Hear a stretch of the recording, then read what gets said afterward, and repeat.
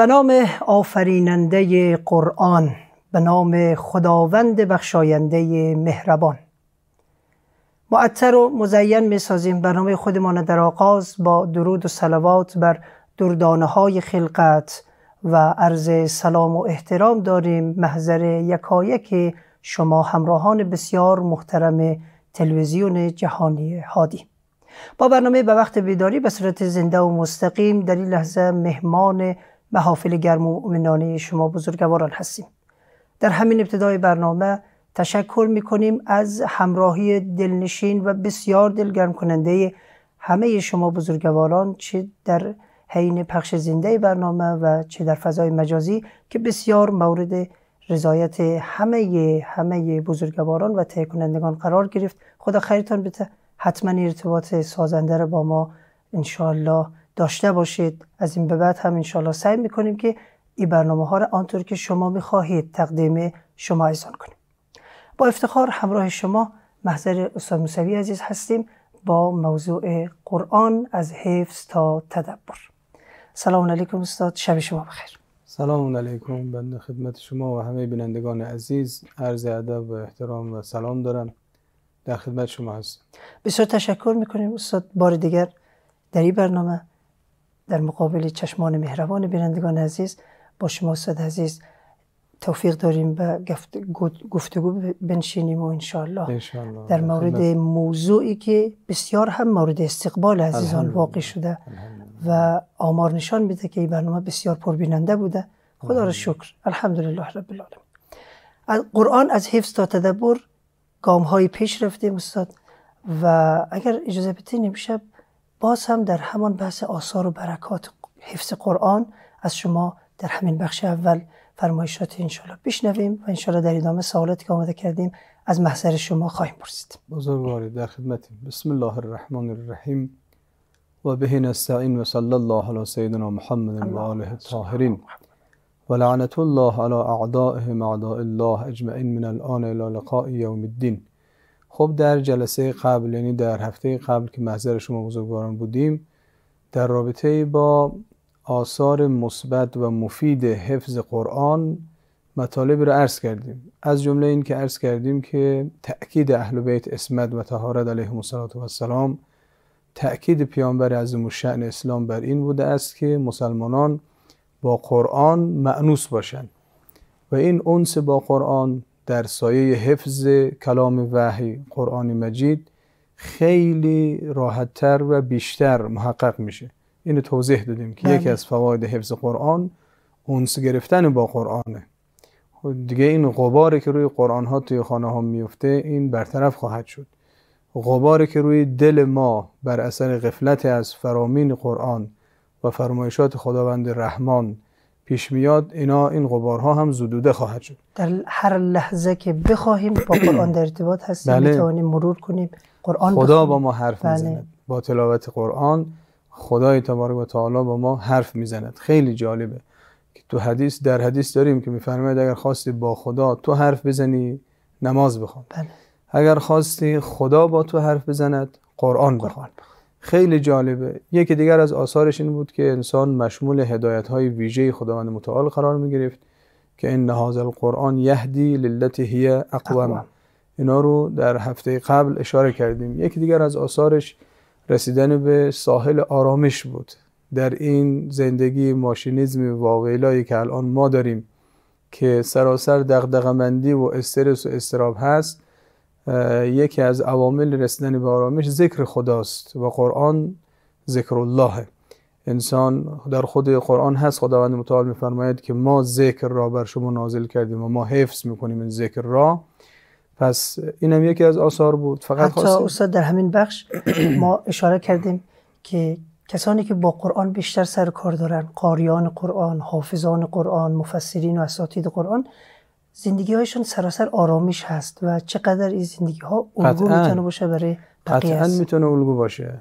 اونایی که واقعا اهل قرآن الان در فضل اونها و در آثار که قرآن بر دنیا و آخرتشون هست مطالب رو عرض خواهیم کرد. خب اینا یک سلسله آثاری بود که در شب گذشته جلسه قبل اشاره شد.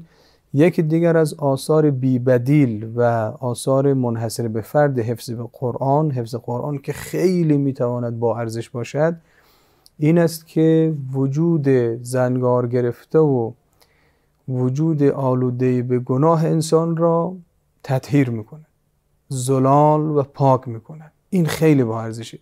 یعنی سبب می که گناهان انسان بخشیده بشه. بالاخره ما معصوم نیستیم. گاهی ممکن است خواسته یا ناخواسته مورد غفلت قرار بگیریم و با غفلتی که برای ما پیش میاد ممکن است دچار گناه شویم. در این حدیث پیامبر اعظم خاتم انبیا محمد صلی الله علیه و آله و سلم میفرماید که من قرأ القرآن عن حفظه کسی که قرآن را از حفظ می‌خواند و حافظ قرآن هست بعد خیال کند ثم زن ان الله تعالی لا یغفر له فهو ممن استهزئ بآیات الله. اگر کسی حافظ قرآن است و قرآن از سینه او می جوشد و بر زبانش جاری میشه خدا او را حتما میبخشه یعنی کاری می شود که این در مسیر هدایت و بخشش و غفران الهی قرار می‌گیره اونگاه پیامبر میفرماید اگر این آدم اینقدر ناامید باشد از رحمت خدا که فکر کند خدا این رو نمیبخشد از کسانی خواهد بود که به آیات خدا استهزا کرد علیاذ بالله. یعنی خدا اینجور افراد رو که وجودش ظرف قرآن قرار گرفته میبخشه. باز در حدیث دیگر فرمود که لا یعذب الله قلبا وعی القرآن خدا اون قلب رو که جایگاه قرآن قرار گرفته. قرآن در اون قلب نشسته اون رو مورد عذاب قرار نمیده. مقصود اینه که اون کسی که قرآن رو تلقی کرده به عنوان وحی و دریافته. به مفاهیم و تفسیر صحیح قرآن از طریق اهل قرآن که اهل بیت هست توجه پیدا کرده. خب این وجود تاریکش روشن میشه. بله. بهشتم جای همین چو افرادیه. که زمیر و وجودش روشنه و اینا راه پیدا نمی‌کنن در جهنم. امکان نداره که جهنمی بشه. این یکی از آثار حفظ قرآن هست. یکی دیگر از آثار جناب آقای ناصری عزیز که بازم یکی از آثار بسیار بسیار مهم و فاخر حفظ قرآن محسوب می شود مقام شفاعته در حدیث شریف از پیامبر اسلام داریم که خدای تبارک و تعالی برای کسی که قرآن حفظ می کند این مقام را عنایت می کند که در روز قیامت تا ده نفر از اعضای عشیره و قوم و خانواده خودش رو شفاعت کنه. خب اون ده نفر چجور افرادی باشه؟ الذین اوجبت اوجبت علیهم النار. افرادیه که رفتنی در جهنم برای اونا حتمیه. اما با توجه به شفاعت این حافظ قرآن خدا اونها رو اهل بهشت قرار میده. من متن حدیث رو محضر بینندگان عزیز عرض بکنم. پیامبر اسلام فرمودن که من قرأ القرآن حتی یستظهره و یحفظه ادخله, ادخله الله الجنه کسی که قرآن رو تلاوت کند پیا پی تا حفظ بشود خدا خود این فرد رو که وارد بهشت می‌کند خود حافظ قرآن رو و شفعه فی عشرت من اهل بیته کلهم قد وجبت لهم النار. خداوند شفاعت این فرد رو قبول می‌کند در مورد اهل بیتش. اونهایی که آتش جهنم بر اونها حتمی و واجب شده. پس اینم یکی دیگر از خدمتتون از کنم آثار حفظ قرآن. یکی دیگر از آثار حفظ قرآن که بازم در روایات ما روش خیلی پرداختند و مانور داده شده این است که اهل قرآن حفظ قرآن این یعنی حافظ قرآن از شایستگان و اشراف اهل جنت. عجب. در روایات ما داریم که اهل بیت اسمت و طهارت میفرمایند که محبان و شیعیان ما جهنمی نمی‌شوند. اگرم جهنم بروند خلود ندارند. اینا برمیگردن در بهشت. بله. اهل توحید اسلام و دین اینا مثل کفار و مشرکین نیست که در جهنم خالدین فیها ابدا بماند. برمیگردن در بهشت ولی اون چی که مهم اینه که این تفاوت رتبه ها خیلی اهمیت داره. میفرماید بعضی ها از اشراف و بزرگان و شایستگان بهشتن. در بین بهشتیان خیلی شاخصن. بعضی ها در همون مراتب اولیه بهشت محشور میشن.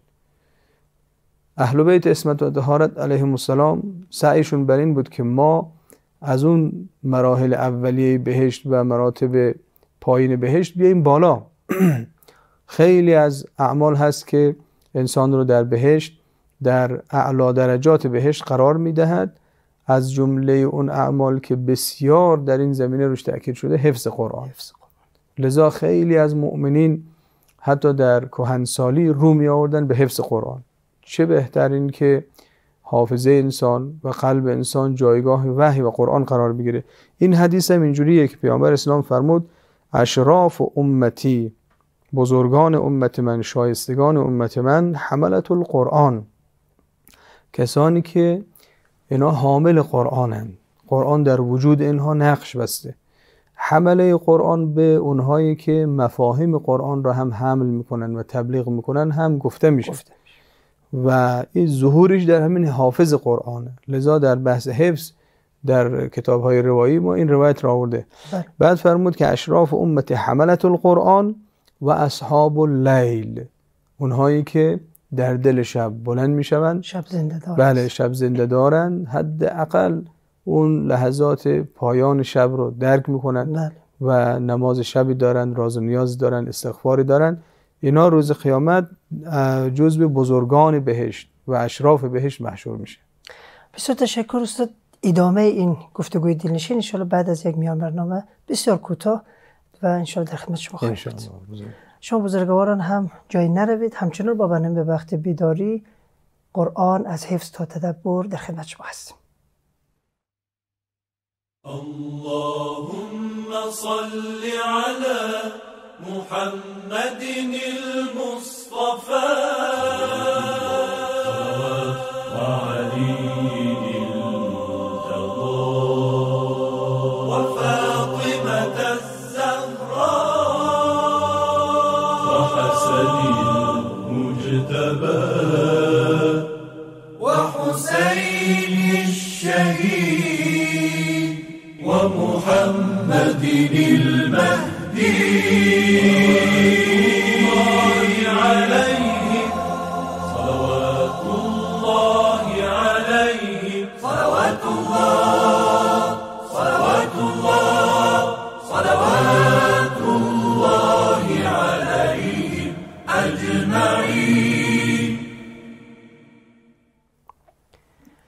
گدایی درت از خلق به نیازم کرد گدایی درت از خلق به نیازم کرد که در سؤال کسی جز تو را صدا نزنم. همچنان با افتخار و با احترام محضر یکایک شما بزرگواران همراه شما هستیم با برنامه به وقت بیداری. این برنامه در یک شنبه شبها با موضوع قرآن از حفظ تا تدبر تقدیم نگاه مهربان شما عزیزان میشه. مثبت 964 780 255 40 13 راه ارتباطی شما عزیزان هست با برنامه خودتان در رسانه جهانی هادی و برنامه به وقت بیداری. سوالاتی که در خلال این برنامه از استاد محترم جناب آقای موسوی انشاءالله خواهیم داشت اکثرا سوالاتی هست که شما بزرگواران برای ما روان کردین. خدا خیرتان بیده که این ارتباط دو طرفه همچنان برقرار هست و ما تلاش می‌کنیم که این برنامه سازی طوری باشه که شایسته شما عزیزان و نگاه پر اطوفت شما باشه استاد عزیز قرآن از حفظ تا تدبر همچنان ما در بحث آثار و برکات هستیم بله. و با توجه به که در برنامه قبل هم عزیزان مستحضر هستن که از شما چند آثار و برکت رو بالاخره مرور کردید و ما یاد بله، گرفتیم. بله. امشب هم در ادامه در این بخش هم انشالله از شما خواهیم شنید و هر جا که انشالله صلاح دانستید ما سوالاتی که آمده کردیم از محضر شما خواهیم ما در خدمت شما هستیم. ببخشید ما روی این مطلب تاکید داریم. به خاطر این هست که در روایات هم روی همین ایجاد انگیزه در افراد و آثار و برکات حفظ قرآن خیلی تاکید شده. بله. و این نشان میده که امام معصوم ائمه معصومین در کل علیهم الصلاه و السلام حتما مصلحت بر این می‌دانسته که این همه این مطلب رو تاکید کردن به خاطر همین جهت ما هم سعی کردیم که گوشه های از این تأکیداتی که در روایات در رابطه با حفظ قرآن و آثار حفظ قرآن آمده رو خدمت بینندگان عزیز عرض بکنیم که بله. بماند به یادگار یک وقت انشاءالله عزیز این برنامه رو می‌بینه در فضای مجازی یا الان دارن به صورت مستقیم مشاهده می‌کنن. شاید ایجاد انگیزه بشود در بعضی از دوستان و عزیزان که در قالب حفظ قرآن این آثار و برکات را در زندگی خودش انشاءالله تعالی بیاره. یکی از, از فضای مجازی گفتین؟ بله. همین الان این برنامه به صورت زنده مستقیم از طریق فیسبوک قابل دریافت هست و همچنین از طریق آپارات و اینستاگرام و یوتیوب هم از آن می‌تونن به صورت مجدد در بازپخش های برنامه را قسمت های از آن را و کامل آن را دریافت کنند. و بسیار افتخار داریم که در فضای مجازی واقعا بزرگواران ما را دنبال می‌کنن و این برنامه مورد استقبال رو شده در خدمت بله. شما هستیم. خدمتتون عرض کنم که پیامبر اسلام صلی الله علیه و آله و سلم فرمودن که اشراف امت من شایستگان و بزرگان امت من که در روز قیامت اینها بزرگشون جلوه خواهد کرد و جلوه کامل بزرگ اینها اونجا دیده خواهد شد اونایی هستند که حافظ قرآنند حمله قرآنند حامل قرآنند و اونهایی هستند که شب زنده دارن این حدیث رو در قسمت قبل اشاره کردیم. در ادامه حضرت میفرمایند که علاوه بر این فضل و حملت القرآن علی الذی لم یحمله فضل الخالق علی المخلوق. یعنی این روایت رو من واقعا وقت خودم بهش رسیدم در هنگامی که مطالعه می‌کردم تعجب کردم از این فضیلت. میفرماید که فضیلتی کسی که حافظ و حامل قرآنه. مثل فضیلت خالق نسبت به مخلوق اصلا قابل مقایسه نیست. به هر زبانی به هر بیانی که ما بخوایم این فضیلت رو توضیح بدهیم بازم زبان ما الکن است و قاصره. کی می‌تواند فضیلت بین خود و خدا را رسد کند. بین مخلوق و خالق را کی می‌تواند فضیلت رو بررسی کند که چقدر تفاوت از بین خالق و مخلوق. فقط ما می‌تونیم یک تفاوت می‌توانیم بگیم که یک تفاوت های خیلی زیادی. اما فضیلت خدا کجا؟ خالق کجا و مخلوق کجا؟ در این حدیث یعنی مبالغه ای در فضیلت. حضرت میفرماید اونقدر فضیلت دارد این فرد که وجودش ظرف قرآن که کلام خداست قرار گرفته. این فضیلتش مثل فضیلت خالق بر مخلوق. عجیب این حدیث. پس اینم یکی از آثار قرآن هست که انسان رو خدایی می کند تمام وجود انسان الهی و خدایی می شود غرق در معنویت میشه. در حدیث دیگر حضرت فرمودن که حافظان قرآن پاداش انبیای الهی رو دریافت می‌کنه این حدیث رو هم خیلی زیباست. من خواهش می‌کنم بینندگان عزیز با دقت و تعمل انشاءالله روی این حدیث گوش کنن و بعد اگر خواستن می‌تونن این حدیث رو یک تکش سرچ بکنن در فضای مجازی. ممکنه در کتابهایی پیدا کنن و هست این حدیث. در حدیث میفرماید که قال رسول الله صلی الله علیه و آله و سلم ان اکرم العباد الى الله بعد الانبیاء العلماء. گرامی ترین افراد در نزد خداوند متعال کیان شاید بگین با تقواترین افراد. خب از بین با تقواها کی گرامیه؟ اگر چند نفر هزار نفر میلیون نفر همه با تقوان گرامی ترین اینها کیان میفرماید انبیای الهی که در سرسلسله انبیا پیامبر اسلامند. بعد از انبیا میفرماید العلماء. گرامی ترین افراد علمان. بعد از علما حافظان قرآنن. بعد این چنین میفرماید یخرجون من دنیا کما یخرج الانبیا. نشانه حافظان قرآن حافظانی که عاملان به قرآن عامل به قرآن هستند اینه که از دنیا خارج میشه همونطوری که انبیا خارج می‌شده.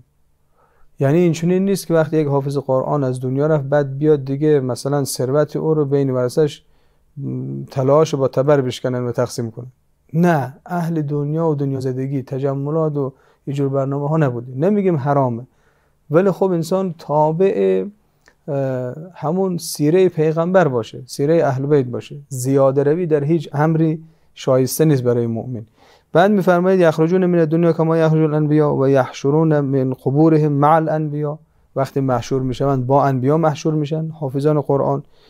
و یمرون علی الصراط مع الانبیا. در پول سرات هم که مسیری است انسان باید عبور کند که به بهشت برسد که اگر سقوط کرد جهنمی خواهد شد. از این سرات پل سرات هم با انبیا عبور می‌کنند و یأخذون ثواب الانبیا. حافظان قرآن ثواب و اجر و پاداش انبیا رو می‌گیرند. عرض می‌کنم شرایط شرایط طوری توصیف شده در این حدیث که اینها پا جای پای انبیا می‌گذارن پا جای پای انبیا می‌گذارن بله. این زیبایش هم به همینه.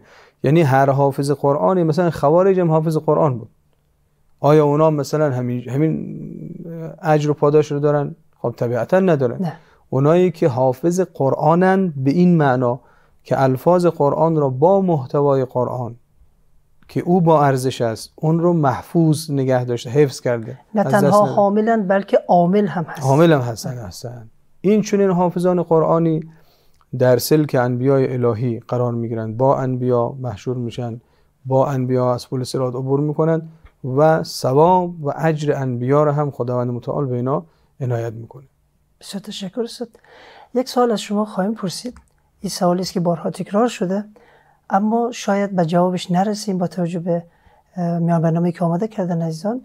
و انشاءالله در بخش بعدی جوابش شما خواهیم پرسید که آیا حفظ کردن قرآن و سرکار داشتن با قرآن از این طریق حافظ, حافظ بودن در واقع ما را از تدبر و تفهیم عمیق آیات قرآن آیا دور نمی‌کنه آیا ما فقط ای که شاید خیلی ها فکر کنن که ما بسیار سطحی به قرآن می‌پردازیم.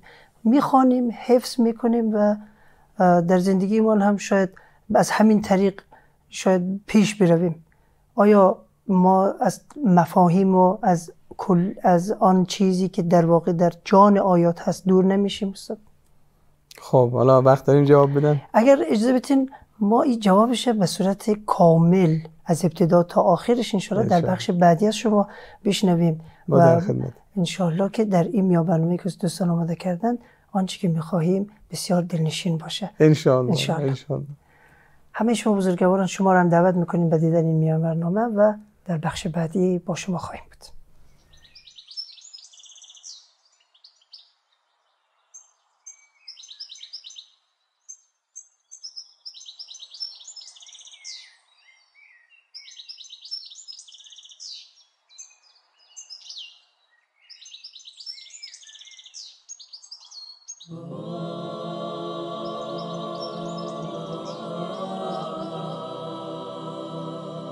خداوندا زندگی سرشار از هزاران نگرانی است و ذهن از یک فکر و سوی فکر دیگر پرواز می کند در میان چنین حیاهویی شنیدن ندای خاموشی که در قلبم با من سخن می‌گوید دشوار است.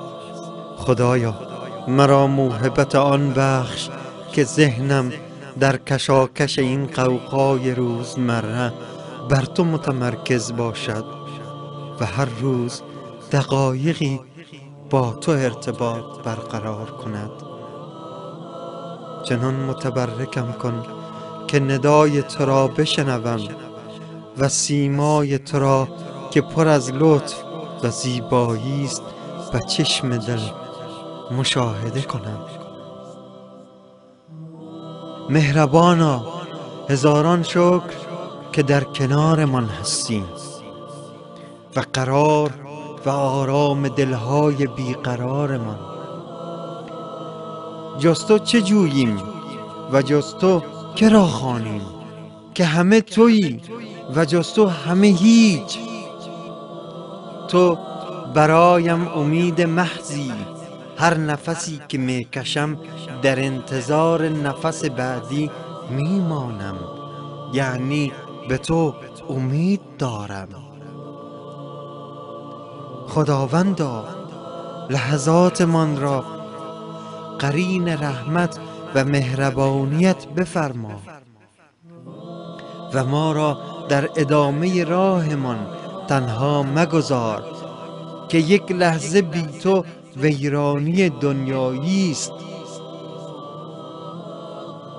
ای همدم و مونس کسی که همدم ندارد.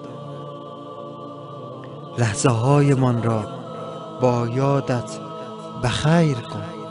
یا رب العالمین.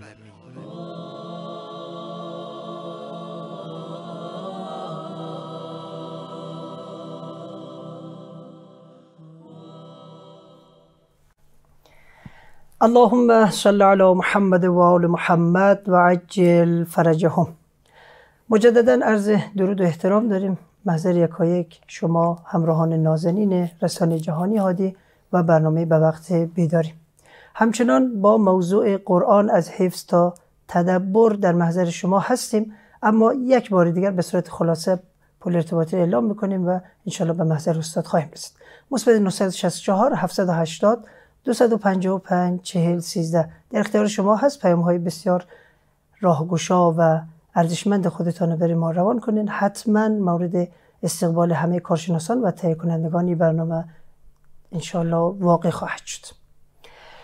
استاد عزیز سوالی که پرسیدیم و متاسفانه به خاطر زیغ وقت نشد شما جواب بتین این هست که آیا حفظ قرآن به صورت کلی ما را از تدبر و فهم عمیق معانی قرآن دور نمی‌کنه. بسم الله الرحمن الرحیم. خب در خدمت شما از بکنم که اتفاقا یکی از برکات حفظ قرآن این است که مقدماتی را برای تدبر عمیق در آیات قرآن برای ما فراهم می‌کنه. یعنی نه تنها حفظ قرآن مانع از تدبر در قرآن نیست بلکه حفظ قرآن برای انسان این تسلط را ایجاد می‌کند که تمام آیات را در مجموع مفاهیم تمام آیات را با یکدیگر مقایسه کند. بله. و بعد یک فهم کلی و عمیق از مجموع آیات به دست بیاره. این خیلی فرق می‌کنه با اون کسی که حالا مثلا یک صفحه از قرآن رو می‌خوانه و یک آیه رو مثلا در موردش فکر می‌کنه. مثلا یک آیه در قرآن هست سوره مبارکه نساء اینجوری که ولن تستطیعوا ان تعدلوا بین النساء ولو حرصتم. شما هیچ وقت نمی‌تونید بین زنان عدالت برقرار کنید ولو خیلی هم حریص باشید. خب طرفی که این آیه رو خوانده بعد میگه خب پس ما نمی‌تونیم عدالت برقرار کنیم. توجه کردین؟ بله. لذا عدالت برقرار کردن بین دو تا خانم امکان پذیر نیست. این تدبرش تدبر ناقصیه که اینجور فکر می‌کنه. ولی وقتی مجموعه از آیات رو می‌خونه می‌فهمه که آقا این ولن و ان تعدلوا بین النساء ولو حرستم در مسائلی که عدالت ظاهری لازم هست نیست. این در دوست داشتنه. که یک کسی مثلا ممکنه یکی از خانماش از همه بیشتر دوست داشته باشه. مثلا فرض کنید دو تا پسر دو تا بچه داره دو تا پسر داره. یکی یک پسر نوجوانی هستش که هر چی که میگه چپه عمل می‌کنه. حرف دم رو گوش نمی‌کنه. بله. یکی یک پسر یک تازه مثلا فرض کنید که هفت ماه هشت ماه شده. همون زمانی که بچه را آدم حلوا حلوا می‌کنه هی میبوسه و بله. هی بسیار شیرین ها شیرین است بله. کیف می‌کنه. خب طبیعتا اینجا آدم بین دوتا نمی‌تونه عدالت در محبت ورزی رعایت کنه. گرچه که هر دوتاش دوست داره بچه های خودش رو. ولی این یکی کوچیکه دلربایش بیشتره برای انسان. برای چی؟ برای اینکه این همون زمان شیرینی ای بچه. قرآن میگه خب اون میل باطنی انسان دست خود انسان نیست. اما در قرآن بعد تأکید می‌کنه که اگر کسی تعدد زوجات داشت به هر دلیلی باید عدالت ظاهری رعایت کنه هم در حق قسم به تعبیر مطالبه ها هم در یعنی عرض کنم خدمتون انفاق و در لباس در توجه در همه اینا در امور ظاهری اینا رو باید رعایت بکنه. به هر حال پس ببینید اگر ما حافظ کل قرآن باشیم قطعا به تمام مفاهیم قرآن بیشتر اشراف داریم و بیشتر می‌توانیم تدبر داشته باشیم در معانی قرآن. تا اینی که حافظ نباشیم یا یک بخشی از قرآن حفظ داشته باشیم. بله. این نکته خوب شد فرمودیم که میشه اینو جزوی از آثار حفظ قرآن تلقی کرد که مورد بحث ما بود در جلسه قبل در قسمت قبل. پس یکی از آثار حفظ قرآن هم دقیقا همین می شود که انسان می تواند تدبر کاملتری در مجموع آیات قرآن کریم داشته باشید بله. بسیار تشکر. استاد سوال دیگه که مطرح شده این است که آیا تفاوتی بین زن و مرد برای حفظ قرآن وجود داره یا خیر؟ تفاوتی که از جهت ثواب و آثارش نه. زن و مرد از این جهات در امور معنوی در پیشگاه خداوند متعال یکسانند. یعنی در قرآن کریم و اسلام کلا زن جایگاه بسیار والایی داره. برخلاف مکاتب و مذاهب منسوخه و باطل شده قبل که اونا بعضا زن رو اصلا انسان نمی‌دانستن و زن رو اصلا اجازه مالکیت برش قائل نبود. نه که بگیم ادیان ابراهیمی ادیان الهی اینجوری نیستن ادیانی که تحریف شده دستکاری شده. حالا ولی استاد به صورت واقعی در دنیای امروز بالاترین درجه اهمیت و ارزش رو برای زن دین اسلام واقع قطعا همینجوری. اجرا می‌کنه و یعنی کسی که با قرآن سر کار دارد و با فرمایشات پیامبر اسلام که تفسیر قرآنه و روایت اهل بیت که تفسیر قرآن هست سر و کار داره این فرمایش شما رو 100 درصد تصدیق می‌کنه. اینا می‌دونن که پیامبر میگه بهشت تحت اقدام امهاتکم. الجنت تحت اقدام امهات یعنی بهشت زیر پای مادر مادر این مقام رو داره. بله. و بعد اون همه احترامی که برای مادر قائل اون همه احترامی که برای ارز کنم همسر یعنی زنانی که همسر کسی می‌شوند همسران کسانی می‌شوند قائل است. حالا کاری نداره ما وارد این وادی نشیم. بدون شک این چنین هست. پس در از این جهت در لحاظ معنویش تفاوتی وجود نداره. از یک جهت تفاوت هست که مزد می‌خوام. زنان جزئی نگرن و حافظه شاید تیزتری نسبت به مردان در حفظیات داشته باشه. ما مکرر این رو دیدیم در کلاس های حفظی که در خدمت عزیزان بودیم. و الان هم می‌بینیم در تجربه که الان داریم با دوستان می‌بینیم دختر بچه ها یا خانم ها در حفظ و به خاطر سپردن خیلی جاها قوی تر عمل می‌کنه از آقایون. ممکن است در مفاهیم پیچیده و استدلالیش یک مقداری مثلا ضعیفتر عمل کنن اما در حفظ قوی تر عمل می‌کنن. لذا توصیه می‌کنیم حتما انشالله برای دختر بچه ها برای دختر خانم های خودتان برنامه حفظ قرار بدید بسیار با ارزشه که حالا انشالله در ادامه عرض خواهیم کرد که از چه سالی از چه سنی انشالله شروع بکنه بله. من خدمت همه شما عزیزان عرض کنم که ما افتخار داریم محضر استاد موسوی عزیز باشیم. ایشان بالاخره افتخار حافظ قرآن بودن دارن و در واقع ما در برنامه بنده به عنوان شاگرد مستقیمشان شما هم از راه دور. حتما در نظر استاد چیزهایی که یاد می‌گیریم ایشان تجربه کردن لمس کردن و در واقع جوابهایی که به این سوالات میتن کاملا واقعی و حقیقی هست. خدا خیرتون بده استاد. انشالله که در برنامه های بعدی ما کم کم بریم به سراغ روش های حفظ قرآن و از شما بیشتر یاد خواهیم گرفت. آنچه که کاربردی تر خواهد بود. استاد سوالی که شاید با توجه به مطالبی که حضرت علی فرمودید اینجا خوب باشه که از شما پرسنشایی است که بهترین زمان برای حفظ قرآن کدام است؟ چه سنی در واقع مناسب تر هست بله. برای حفظ قرآن؟ در رابطه با حفظ قرآن سن خاصی در روایات معین نشده. چرا که قرآن نور هدایت ارزش عظمت فضیلت و چی تعبیر کنم؟ اگر شما بگین آقا برای دریافت این طلا که من بردارم. چه سنی معین شده؟ هیچ سنی. هر زمانی که توانستی بردار. بله. خوب است. اما اگر سوال اینجوری مطرح کنیم که چه سنی برای حفظ قرآن موفقیت آمیزتر است که ما از اون سن شروع بکنیم. بسیاری از روایات تأکید دارد که در سن کودکی انسان اگر مطلب رو یاد بگیرد یا حفظ بکند این مثل نقش بر حجر هست یعنی بله. حکاکی روی سنگ که دیگه پاک نمیشه. برخلاف این که انسان در کهنسالی در عرض کنم خدمتون که میان سالی به بعد بخواد یک مطلب رو حفظ کند و با حافظه بسپارد مخصوصا هم اگر حافظه ورزیده نباشد و تمرین نکرده باشد زود فراموش می‌کنه. مثل نقش بر آبه که زود فراموش میشه. این در روایته. حالا می‌خوام این ارز کنم که در روایت در کل همین مقدار توصیه شده که در زمان کودکی بهتره اما اون که تجربه نشان داده در زمان کودکی خب از چه سالی بدون شک تا پنج سالگی بچه نمی‌تونه حفظ کنه مگر اونایی که خیلی نابغن که حالا مثلا مثل سید محمد حسین طباطبایی که بله. یکی از نوابغ قرآنی جهان تشیع هستند ایشون مثلا تا قبل از پنج سالگی تا چند سالگی بود کل قرآن حفظ کرده و نجل البلاغه و چقدر متون دیگر رو که کاری نداریم. و اون دیگه استثنایی بله. پس ما میگیم دو مرحله دارد در زمان کودکی. دو دقیقه تا پایان بله, بله. یک مرحلهش اینه که کودک هنوز نمی‌تونه سوره ها رو به حافظه بسپاره. یعنی قبل از پنج سال. اینجا همون مقدار کوتاه مثلا بسم الله رو یک روز کار کنیم باشه بعد روز بعدی الرحمن الرحیم مثلا. بعد سوره های کوچیک رو همینجوری. و در این زمان بیشتر حافظه توتیوار کودک ضبط گونه کودک فعاله.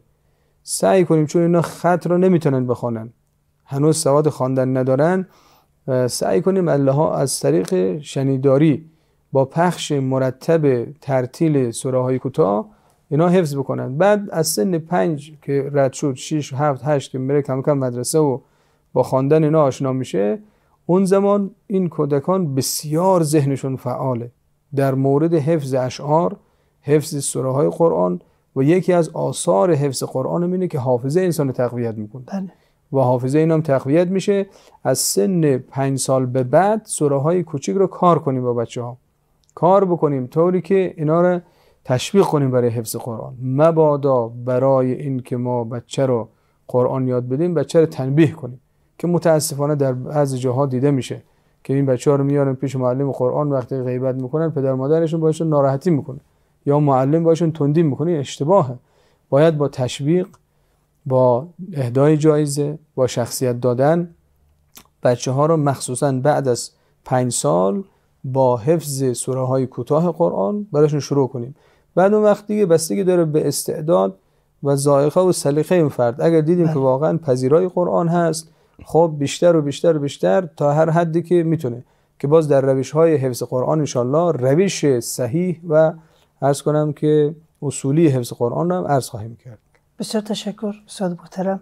فقط یک جمله ای که ما می توانیم به کودکانمان بگوییم که قرآن حفظ کند یا چیز دیگر. ما به عنوان پدر و مادر در اختیار ما هست. و خدا خیرتان بده استاد. برای بنده بسیار مفید بود. انشالله که نکاتی که از عالی فرمودید در این برنامه حتما مورد استفاده از آن هم واقع شده باشه.